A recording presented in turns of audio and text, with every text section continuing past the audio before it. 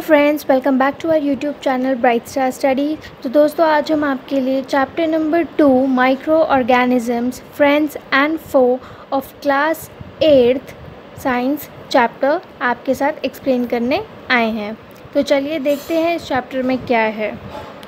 तो जैसे कि हमारे चैप्टर का नाम है micro organisms friend and foe इसका मतलब हम सबसे पहले इन टर्म्स को समझ लेते हैं कि माइक्रो ऑर्गेनिजम्स होता क्या है। तो देखिए the other living organisms around us which we normally can not see through our naked eyes are called as micro organisms और माइक्रोब्स यानी कि ऐसे ऑर्गेनिजम्स जिन्हें हम इजीली नहीं देख सकते हैं उन्हें हमें किसी चीज़ की हेल्प से ही देख सकते हैं like of micro microscope and all तो अगर हम उसे नहीं देख सकते हैं तो वो होते हैं माइक्रो ऑर्गेनिजम्स और माइक्रोब्स अब इस चैप्टर में पता करना है कि वो हमारे फ्रेंड हैं या फो अब फ्रेंड का मतलब तो आप बहुत अच्छे से जानते हैं, ठीक है? आपके दोस्त, आपके साथी जिनसे आपको बेनिफिट्स हो।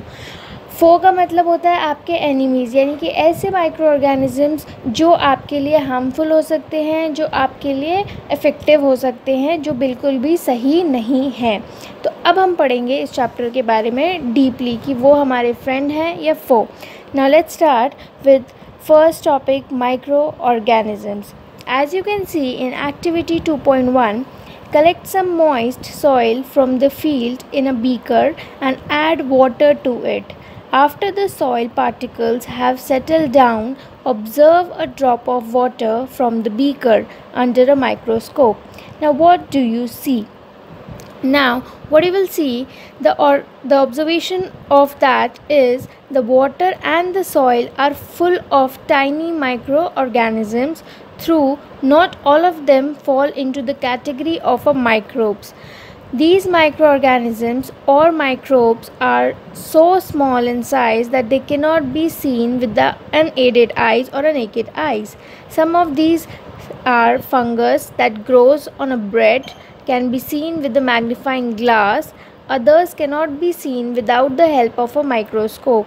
That is why these are known as microorganisms or microbes अब देखो, जिन्हें हम इजीली हमारी नेकेड आई से नहीं देख सकते हैं, जिन्हें हमें माइक्रोस्कोप की हेल्प से देखना पड़ता है, वो होते हैं माइक्रो ऑर्गेनिज़म या फिर माइक्रोब्स बट कुछ माइक्रो ऑर्गेनिज़म्स इस तरीके की होते हैं, जिन्हें हम इजीली हम इजीली तो नहीं, लेकिन हम अपनी नेकेड आई से देख सकते हैं with the help of a magnifying glass और अ फंगस जो कि ब्रेड के ऊपर ग्रो होती है तो उसे हम देख सकते हैं। ठीक है तो ये तो मे, एक डिफरेंस था माइक्रो ऑर्गेनिजम्स और माइक्रोब के बीच। Micro organisms are classified into four major groups अब चार मेजर ग्रुप्स के अंदर माइक्रो ऑर्गेनिजम्स को डिवाइड कर दिया गया है। अब ये कौन कौन से ग्रुप हैं? Number one bacteria number two fungi number three protozoa and number four algae अब ये चार ऐसी चीज़ हैं जिसे माइक्रो ऑर्गेनिजम्स को ग्रुप्स में अलग अलग तरीके से डिवाइड कर दिया गया है। अब आगे देखिए। इसमें से कुछ कॉमन माइक्रो ऑर्गेनिजम्स भी हैं, जैसे कि वायरसेस आप बहुत अच्छे से जानते हैं, अभी रीसेंट सिचुएशन में भी आप बहुत अच्छे से वायरस के बारे में समझ रहे हैं, जान रहे हैं तो अब आप इसे और समझिए।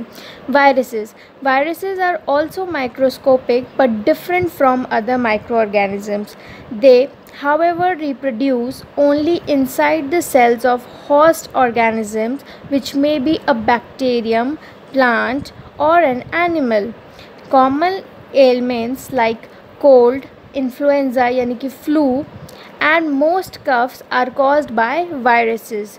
अब वायरसेस क्या है? वायरसेस वायरस जो है, वो भी हम एक माइक्रोस्कोप की मदद से ही देख सकते हैं। वो भी एक तरीके का माइक्रो ऑर्गेनिज्म में ही कंसिडर किया जाता है। बट जैसे कि इसके जो सिम्टम्स या इसकी जो वायरस कहाँ होता है? वायरस किस वजह से होता है? वायरस की वजह से हमें कोल्ड हो सकती है फ्लू हो सकता है और बहुत जो कॉमन कफ्स होते हैं कफ होती है, वो किसकी वजह से होती है? वायरस की वजह से होती है। Now, serious disease like polio and chicken pox are caused by viruses. अब बहुत सीरियस डिजीज़ जैसे कि पोलियो है चिकन पॉक्स है ये सब भी हमें वायरस की वजह से ही होती है disease like dysentery and malaria are cause by protozoa which is also known as protozoans whereas typhoid and tuberculosis T B are bacterial disease अब टाइफाइड और टर्बोक्लोसिस यानी कि जो टीबी है और टाइफाइड है ये बैक्टीरियल डिज़ीज़ होती है तो अब आप बहुत क्लियरली आप डिफरेंस कर सकते हो कि कौन सा वायरस कब और कौन सी डिज़ीज़ को स्प्रेड करता है Now, as you can see some of the diagrams that how these all organisms, microorganisms look like. Now you can see in the given picture bacteria, then algae, protozoa, fungi, or viruses how they look like. So the next topic is where do microorganisms live? Microorganisms may be single celled like bacteria some algae and protozoa or multicellular such as many algae and fungi. They live in all types of environment ranging from cold region cold climate to hot springs and desert to marshy lands. They are also found inside the bodies of animal including the humans. Some microorganisms grow on other organisms while other exist freely.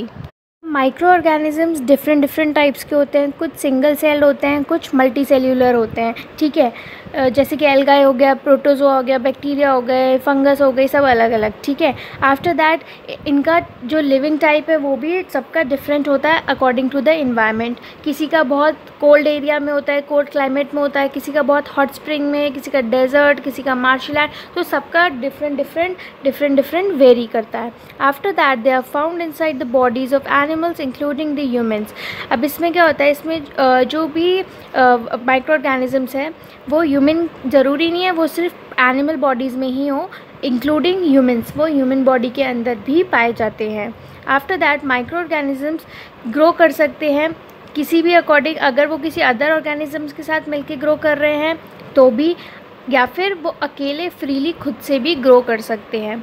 Now next topic is micro organisms and us Microorganisms play an important role in our life. Some of them are beneficial in many other ways, whereas some others are harmful and cause diseases. Now, let us understand in some detail. ना, आप जैसा मैंने आपको starting में ही बता दिया था chapter के माइक्रो ऑर्गेनिजम्स कुछ ऐसे होते हैं जो हमारे लिए बहुत बेनिफिशियल होते हैं, बहुत प्रॉफिटेबल होते हैं। बट कुछ माइक्रो ऑर्गेनिजम्स ऐसे होते हैं जो हमारे लिए बहुत ज़्यादा हार्मफुल होते हैं, जो बहुत ज़्यादा अफेक्ट करते हैं। जैसे कि आप देख रहे हैं करंट सिचुएशन में वायरस वो वायरस हमारे लिए बहुत ज़्यादा हार्मफुल है। तो इसी तरीके से कुछ अच्छे होते हैं और कुछ बुरे होते हैं।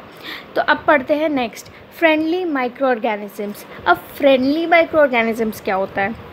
Microorganisms which are used for various purposes, they are used in preparation of curd, bread and cake.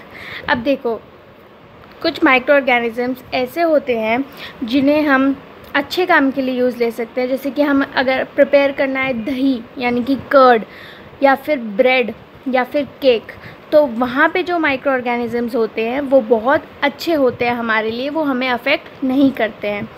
और एक चीज़ और micro organisms has been used for the production of alcohol since ages यानी बहुत सालों से जो प्रोडक्शन है एल्कोहल का, उसके अंदर माइक्रो ऑर्गेनिजम्स को यूज़ लिया जाता है।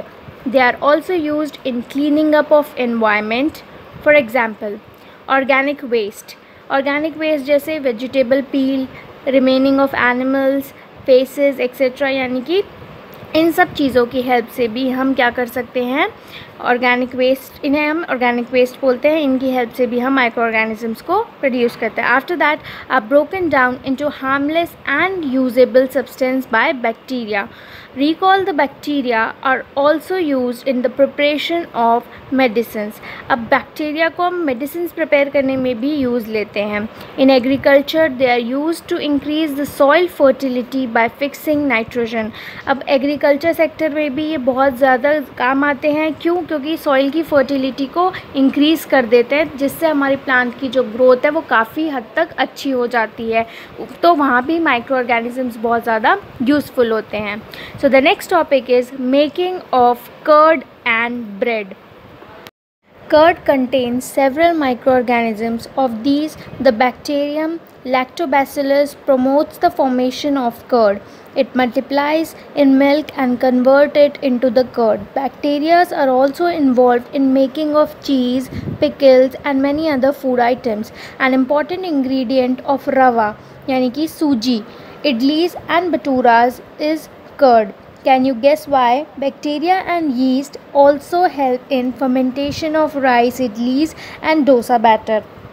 अब सबसे बड़ी चीज़ ये है कि कर्ड कर्ड को जब बनाते हैं तो कर्ड जो है उसके अंदर भी बहुत सारे माइक्रो ऑर्गेनिज़म्स होते हैं लेकिन वो माइक्रो ऑर्गेनिज़म्स हार्मफुल नहीं होते हैं ठीक है अब जब हम कर्ड एक मिल्क है बाउल ऑफ़ मिल्क है उसके अंदर अगर हम थोड़ा सा कर्ड डालते हैं if we put amount of, a little amount of curd into it, then it multiplies with the milk and convert it into the curd ठीक है? फिर वो पूरी तरीके से कर्ड में कन्वर्ट कर देता है। तो वो जो बैक्टीरियाज वहाँ पे होते हैं, वो जो माइक्रो ऑर्गेनिजम्स उसके अंदर प्रेजेंट होता है, ये उसी की वजह से होता है। अब ये जो बैक्टीरियाज हैं, ये चीज़ बनाने में पिकल्स बनाने में और बहुत से दूसरे फ़ूड आइटम्स यानी कि ब्रेड केक ये सब बनाने के अंदर क्या होते हैं? डेफिनेटली माइक्रो ऑर्गेनिजम्स प्रेजेंट होते हैं। अब जैसे कि आप देख रहे हो जब आप इडलीज़ बनाते हैं या डोसा बनाते हैं तो जो उसका बैटर होता है, उसके अंदर हम हमेशा थोड़ा सा या चाहे कैसा भी हम उसमें कर्ड पुट करते हैं ऐड ऑन करते हैं। जब हम कर्ड ऐड ऑन क्यों करते हैं? क्योंकि उसके अंदर माइक्रो ऑर्गेनिजम्स होते हैं। और जो बैक्टीरिया और यीस्ट होता है, ये दोनों हेल्प करते हैं किसी भी बैटर को फर्मेंट करने में, यानी उसे और अच्छा बनाने के लिए, उसे फर्मेंट करने के लिए ये हेल्पफुल होते हैं। तो कर्ड इसलिए हम डालते हैं क्योंकि कर्ड के अंदर a lot of amount of micro organisms present होते हैं। अब देखो yeast reproduce rapidly and produce carbon dioxide during respiration bubbles of gas fill with the dough and increase its volume It's, a, this is the basic use of yeast in the baking industry for making breads, pastries or the cakes. अब देखो yeast yeast powder जो होता है yeast powder वो हम क्यों डालते हैं क्योंकि उस पाउडर को जैसे ही हम ऐड ऑन करते हैं हमारे बैटर के अंदर तो इन बबल्स ऑफ़ गैसेस जो होती है वो डो जो भी डो होता है बैटर होता है वो एकदम से उसकी जो वॉल्यूम है वो इंक्रीज़ हो जाती है। क्योंकि उसके अंदर कार्बन डाइऑक्साइड जो है वो बहुत ज़्यादा प्रोड्यूस हो जाता है। आफ्टर दैट वो जो उसका डो का डो है या बैटर है, उसका वॉल्यूम जो है वो काफ़ी हद तक इंक्रीज़ हो जाता है। तो इस वजह से हम यीस्ट का या फिर कर्ड का इनका बहुत ज़्यादा यूज़ लेते हैं ताकि ब्रेड्स पेस्ट्रीज़ और केक्स ईज़िली बेक हो सकें। Commercial use of microorganisms. Now microorganisms are used for large scale production of alcohol, wine and acetic acid yani vinegar. Yeast is used for commercial production of alcohol and wine. Yeast commercial production alcohol और wine के लिए भी काम में ली जाती है ठीक है इसी तरीके से vinegar now For the purpose, yeast is grown on natural sugars present in grains like barley, wheat, rice, crushed fruit juices or etc. Now the smell of alcohol as sugar has been converted into alcohol by yeast. This process of conversion of sugar into alcohol is known as fermentation. अब किस process को the process of conversion of sugar sugar को convert कर रहे हैं alcohol में into alcohol उस process को हम कहते हैं फर्मेंटेशन प्रोसेस आफ्टर दैट और uh, मैं आपको एक इंपॉर्टेंट इंफॉर्मेशन बता दूँ जो लुइस पेस्टर हैं उन्होंने डिस्कवर किया था ये फर्मेंटेशन का प्रोसेस वो भी 1857 में. So the Louis Pasteur discover the fermentation process in 1857 में. Now the medicinal use of microorganisms. Whenever you fall ill, the doctor may give you some antibiotic tablets, capsules, or injections, such as an penicillin.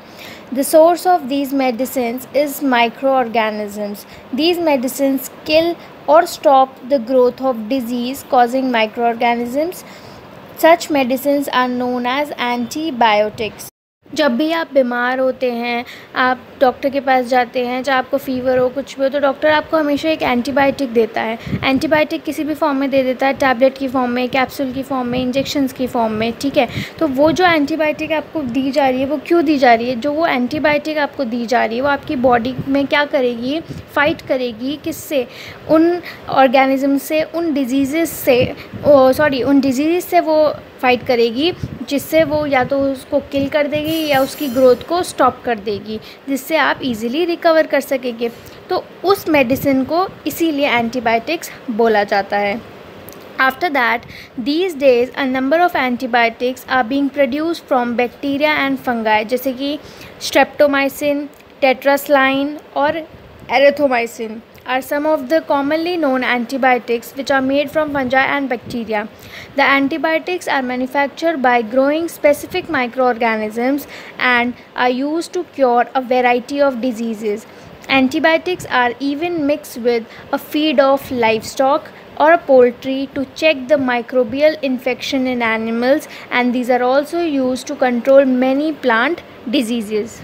When a disease carrying microbe enters our body, the body produces antibodies to fight the invader. The body also remember how to fight the microbe if it enters again. If the dead or weakened microbes are introduced into a healthy body, the body fight and kill the invading bacteria by producing suitable antibodies. The antibodies remain in the body and we are protected from the disease causing microbes forever. Now this is how a vaccine works. Several diseases like including cholera, tuberculosis, smallpox and hepatitis can be prevented by vaccination. अब क्या होता है अगर हमारी body में कोई disease आ रहा है किसी माइक्रोब के थ्रू कोई डिज़ीज़ कैरी हो रही है माइक्रोब के थ्रू हमारी बॉडी के अंदर तो हमारी बॉडी के अंदर कुछ एंटीबॉडीज़ ऐसी होती हैं जो ईज़िली उनके साथ फ़ाइट कर सकती है उन्हें पता है किस तरीके से किस तरीके से उनके साथ फ़ाइट करना है और अगर कोई भी डेड या बहुत वीक माइक्रोब हमारे अच्छी एक हेल्दी बॉडी के अंदर अगर आ जाती है वो डिज़ीज़ तो हमारी बॉडी बहुत अच्छे से जानती है कि कैसे फ़ाइट करना है, कैसे किल करना है उस सामने वाले इन्वेडिंग बैक्टीरिया को, ठीक है? तो हमारी बॉडी को पता होता है जो हमारी बॉडी के अंदर एंटीबॉडीज़ रहती हैं, जो रिमेनिंग एंटीबॉडीज़ हैं, वो हमारे आप, हमें पूरी तरीके से प्रोटेक्ट करती हैं किसी भी तरीके की डिज़ीज़ कॉजिंग माइक्रोब से। इसी तरीके से एक वैक्सीन भी वर्क करता है। चाहे कितनी सेवरल डिज़ीज़ हो, जैसे कि कॉलेरा है टीबी है स्मॉल पॉक्स है हेपेटाइटिस है, इन सबको भी हम वैक्सीन के थ्रू क्या कर सकते हैं? प्रिवेंट कर सकते हैं। इसी तरीके से वैक्सीन भी हेल्प करता है। जब हमारी एक बॉडी के अंदर वैक्सीन दिया जाता है, यानी कि एक एंटीबॉडी या इंजेक्ट किया जाता है तो उसी की हेल्प से हमारी बॉडी को क्या मिलती है? स्ट्रेंथ मिल जाती है एंटीबॉडी मिल जाती है, जिससे वो क्या करता है? इजीली डिज़ीज़ को फाइट कर सकता है। और next it is essential to protect all the children against these diseases. Necessary vaccines are available nearby hospitals. इसीलिए बच्चों को इन सब डिज़ीज़ से प्रोटेक्ट करने के लिए बहुत से ऐसे वैक्सीन्स हैं, जो कि नियर बाय हॉस्पिटल्स में अवेलेबल होते हैं। ये फैसिलिटीज़ सबको अवेलेबल होती है तो ये वैक्सीन्स इसीलिए बहुत ज़्यादा इंपॉर्टेंट है ताकि फ्यूचर में होने वाली किसी भी डिज़ीज़ को हम अवॉइड कर सकें हम उससे पूरी तरीके से प्रोटेक्टेड रहें You might have seen the advertisement on TV or the newspaper regarding the protection of children against polio or the pulse polio program polio drops given to the children to actually uh, as a vaccine ठीक है? आप बहुत ज़्यादा आप लोगों ने सब जगह देखा होगा आप लोग अच्छे से जानते हैं कि पोलियो ड्रॉप्स दी जाती है बच्चों को ताकि पोलियो से बचाया जा सके थ्रू अ वैक्सीन तो वो भी एक बहुत इंपॉर्टेंट स्टेप होता है। After that, a worldwide campaign against smallpox has finally led to eradication from most parts of the world. These days, vaccines are made on a large scale from microorganisms to protect humans and other animals from several diseases. अब इस time पर बहुत ज़्यादा large scale पे बहुत amount में micro organisms की help से क्या हो रहा है वैक्सीन्स जल्दी जल्दी बनाए जा रहे हैं ताकि ह्यूमंस को और एनिमल्स को दोनों को ही बहुत सारी डिज़ीज़ से क्या कर सकते हैं? प्रोटेक्ट कर सकते हैं। इवन प्लांट्स को भी। After that increasing soil fertility अब सॉइल फर्टिलिटी में बैक्टीरियाज वगैरह माइक्रो ऑर्गेनिजम्स किस तरीके से हेल्प करते हैं? जब माइक्रो ऑर्गेनिज्म सॉइल के अंदर प्रेजेंट होता है तो वो सॉइल को बहुत ज़्यादा फर्टाइल कर देता है, जिससे प्लांट इजीली ग्रो हो पाते हैं हेल्दी ग्रोथ होती है और बहुत अच्छी अमाउंट में ग्रो करते हैं। After that Some bacteria are able to fix nitrogen from the atmosphere to enrich the soil with nitrogen and increase the fertility. These microbes are commonly called as biological nitrogen fixers BNF. ठीक है after that देखो cleaning the environment अब environment को clean करना भी बहुत ज़्यादा ज़रूरी है अगर इन्वायरमेंट क्लीन रहेगा तो डिज़ीज़ अपने आप ही काफ़ी हद तक कम हो जाएँगी अभी तक हमने पढ़ा था माइक्रो ऑर्गेनिज़म्स क्या होते हैं उसके कौन कौन से ग्रुप्स हैं, वो कौन कौन से ग्रुप्स में डिवाइड है, जैसे कि बैक्टीरिया फंजाई प्रोटोजोआ और वायरसेस और एल्गाए में। हमने उनको ब्रीफली समझने की कोशिश की। आफ्टर दैट हमने सीखा माइक्रो ऑर्गेनिजम्स कैसे रहते हैं, उनका हमारे साथ क्या कनेक्शन है। अभी तक हमने पढ़ा था फ्रेंडली माइक्रो ऑर्गेनिजम्स के बारे में कि वो किस तरीके से हमारे लिए बेनिफिशियल है, हमें अफेक्ट नहीं करते हैं किन किन चीज़ों में वो हमें हेल्प करते हैं, चाहे वो मेडिसिनल एरिया में हो, चाहे कमर्शियल यूज़ में हो, चाहे सॉइल फर्टिलिटी यानी एग्रीकल्चर एरिया सेक्टर में हो तो और किस तरीके से वो हमें हेल्प करते हैं। तो यहाँ तक हमने पढ़ा था फ्रेंडली माइक्रो ऑर्गेनिज़म्स के बारे में, ठीक है?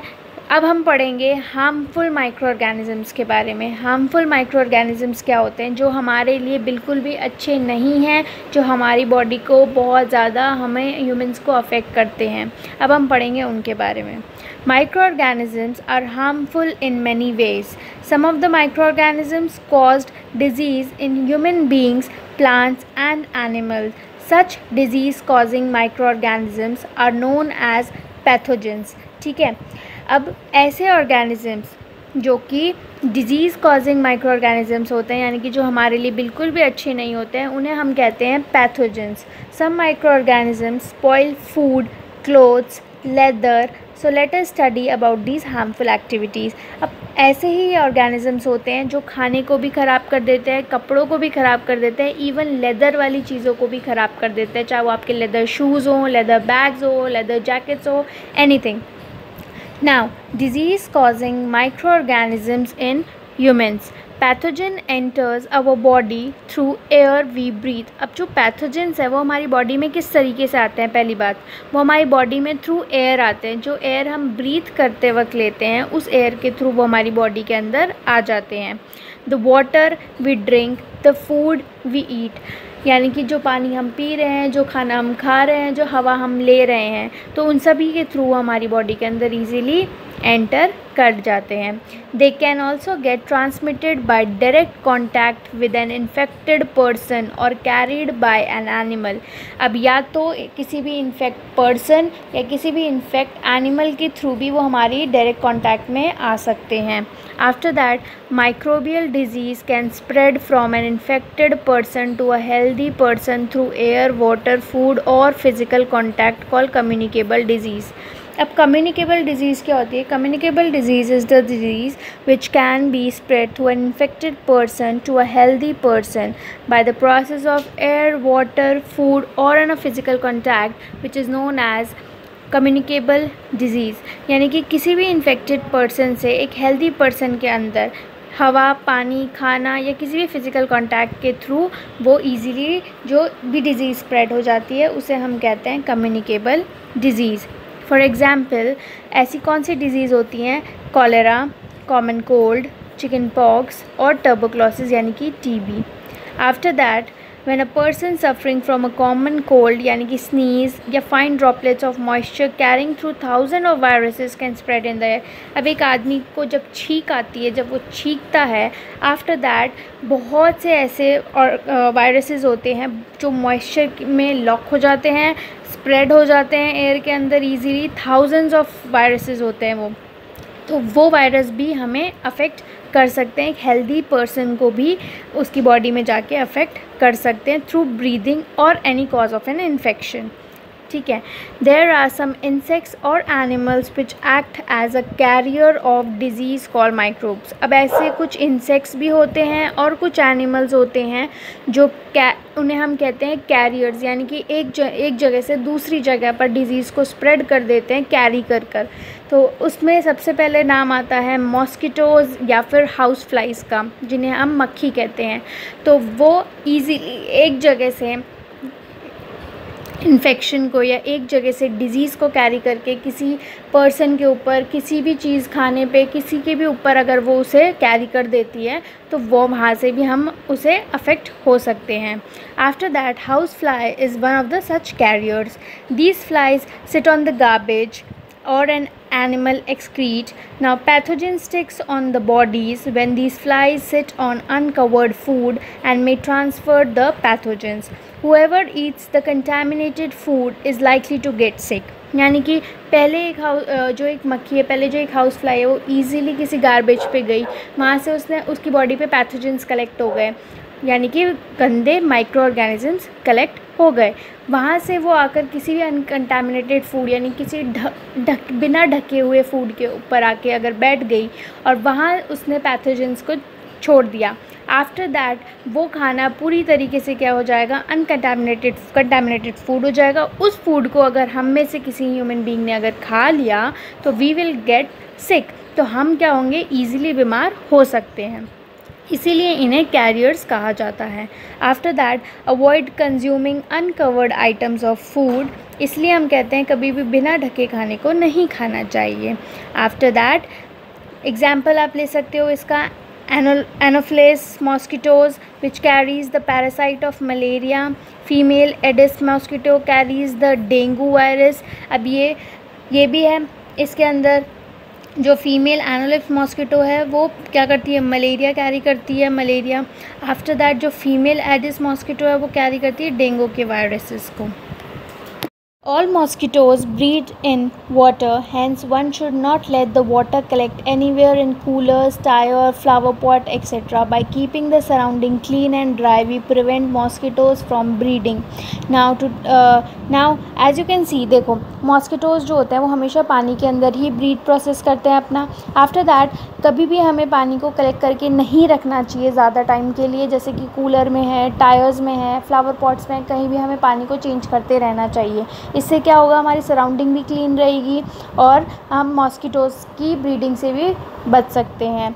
तो मॉस्किटोज़ होना ही गलत है first of all after that mosquitoes house flies इन सबसे क्या होता है, बहुत इजीली हम कम्युनिकेबल डिज़ीज़ को स्प्रेड कर देते हैं। इनकी वजह से बहुत सारी वायरसेस स्प्रेड होते हैं like malaria dengue etcetera viruses are being spread so हमें इनको प्रिवेंट करना चाहिए, हमें अपने सराउंडिंग को क्लीन रखना ही चाहिए।